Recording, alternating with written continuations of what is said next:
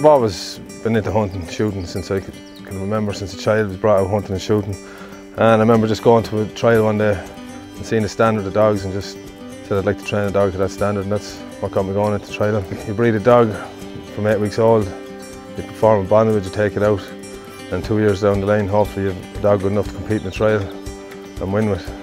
It's great satisfaction to see a dog coming along from a pup. I used to feed a lot of chicken, tripe, mince.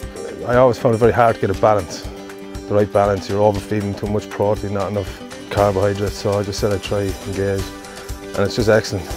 Can't fault it. The energy levels are through the roof. It's so balanced, you can control the weight so easy. It's just a matter of increasing or decreasing the nut. It's just a brilliant nut, super.